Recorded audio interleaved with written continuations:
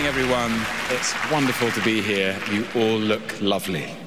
Hello, everyone. Uh, Tom Hiddleston wants all of you to know that he loves me very much. Right, Tom? Did Taylor Swift's ex boyfriend, we mean Tom Hiddleston, just make a subtle reference to his past relationship with the singer?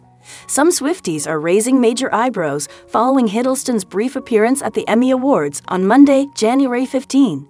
Hiddleston, 42, presented the award for Outstanding Writing for a Limited or Anthology Series or Movie alongside Loki co star Ke Huy Quan during Monday's awards ceremony. The trophy went to Lee Sung Jin for Beef. Good evening, everyone. It's wonderful to be here.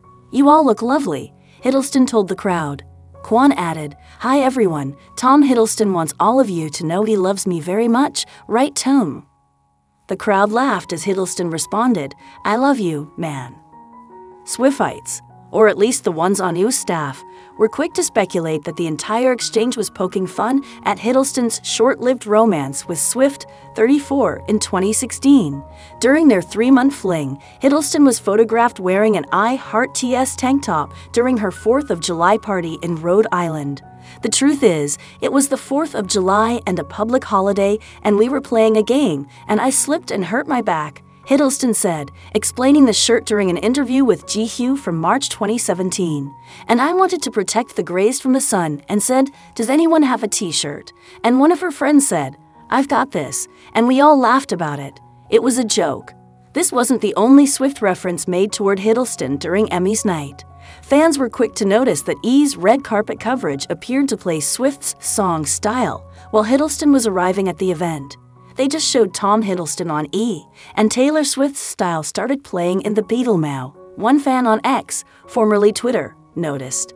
Another added, Did E really just play Style TV with Tom Hiddleston on screen? A third joked, Emmy's red carpet on E, playing Style TV while showing Tom Hiddleston is a choice.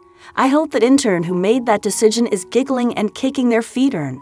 Hiddleston and Swift met at the Met Gala in May 2016, and shared a dance together. Taylor was the one to put the brakes on the relationship, a source told Us Weekly at the time.